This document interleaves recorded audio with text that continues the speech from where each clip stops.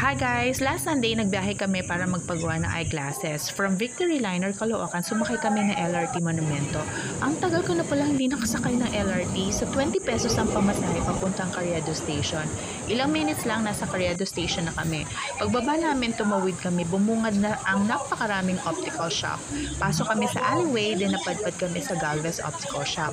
Umalis din kami after ilang minutes kasi nakakainis siya nagsusukat ng ano ng mata doon. Dumadami kasi yung mga tao at nagtatanong kaya minamadali kami para kami bibili sa sari-sari store ang peg. Bagsak sa customer client service. Lipat kami dito sa Tata Optical Shop. Thanks kay Miss Ruth na nag-assist sa amin. Nagantay kami ng ilang minutes para sa optometrist and then sinukatan na kami. Tumaas yung mga grado ng mata namin at may astigmatism na din.